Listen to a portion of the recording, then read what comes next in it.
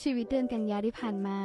ต้นเดือนเราก็อยากทำอะไรเพื่อเจ้าเด็กในท้องก็เลยไปว่ายน้ำกับแฟน ก็อยากให้เขาแข็งแรงเนาะผ่านมาอีกสองสามวัน เราก็ทำเค้กทุบเซอร์ไพรส์วันเกิดน้องชาย ก็ใส่เงินเขาไปหมื่นหนึ่งหน้ามันเนี่ย บานเป็นกระด้งเลย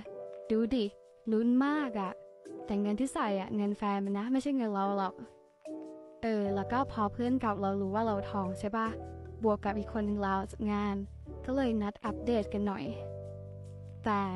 ใครจะไปรู้ล่ะว่าอีกไม่กี่วันเว้ยอยู่ๆว่าที่คุณแม่อายุครรภ์สี่เดือนกว่าๆก็ต้องเข้าโรงพยาบาลผ่าตัดเส้นติ่งอักเสบ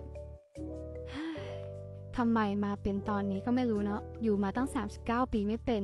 มาเป็นตอนท้องอะพอออกจากโรงพยาบาลเท่านั้นแหละ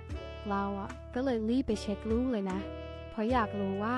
เขาว่าปลอดภัยหรือเปล่า เพราะว่ามันเป็นสิ่งที่เราอะอยากได้ที่สุดแล้ว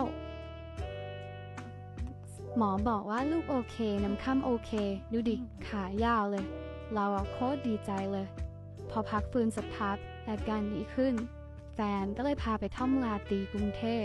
กินมิตรโกยวน แล้วก็ดูหนังกลางแปลงสุดคลาสสิก ปิดท้ายเดือนด้วยการทำเซอร์ไพรส์วันเกิดพ่อจากลูกๆทั้งสามก็อยากจะบอกนะว่า ดีใจว้ยที่ผ่านมาได้ ตุลาจ๋าใจดีกับพี่น้อยพี่เป็นไงบ้างครับดีใจไหมไอายดีใจครับอะไรขอบคุณให้การคุณลูกสามคนเลยนะ